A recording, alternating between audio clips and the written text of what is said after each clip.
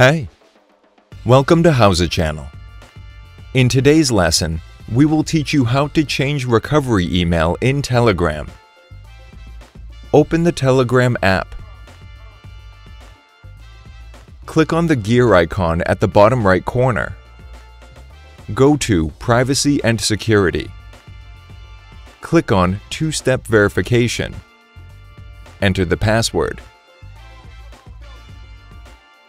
Click on Done. Click on Change Recovery Email.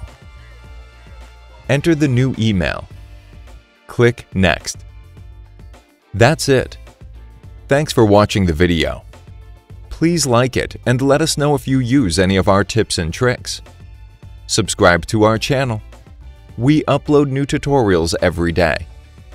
See ya!